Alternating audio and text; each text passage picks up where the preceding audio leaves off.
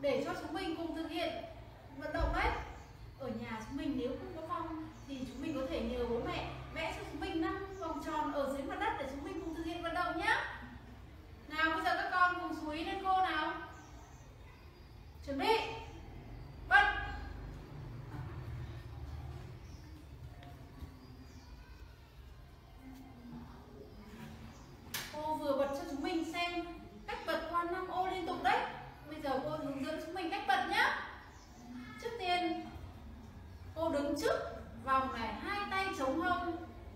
Chân trụ. Khi có hiệu lệnh, bật. Cô nhún hai đầu gối xuống và bắt đầu dùng sức bật liên tục qua năm ô cô bật không chạm vào vòng tiếp đất bằng hai nửa bàn chân trên. Cô đã bật xong rồi.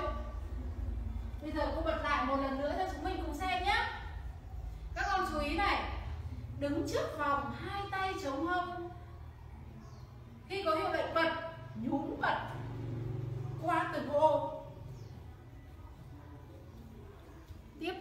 hai nửa bàn chân trên. Cô đã thực hiện xong vận động rồi.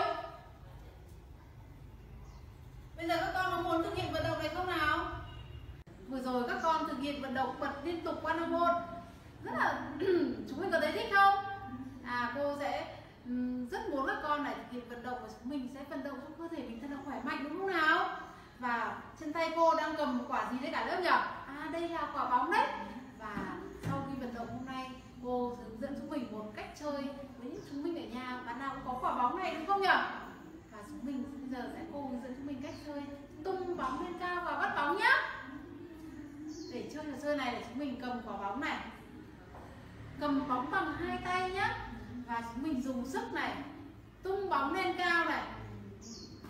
Và chúng mình hai, và khi bóng rơi xuống, chúng mình dùng hai tay để đỡ quả bóng nhá. Cô tung lại, chúng mình cùng xem nào. Dùng sức đẩy tung quả bóng lên cao. Và khi bóng rơi xuống chúng mình lấy hai tay đỡ bóng. Làm sao cho quả bóng không rơi xuống đấy? Chúng mình có thích chơi trò chơi này không? À trò chơi này rất là hay rất là thú vị này. Có và có thể chúng mình có thể uh, rủ anh hoặc em ở nhà chúng mình có thể chơi tung bóng cho nhau cũng được các con ạ. À. chúng mình có thể tung bóng cho nhau này tung bóng lên cao.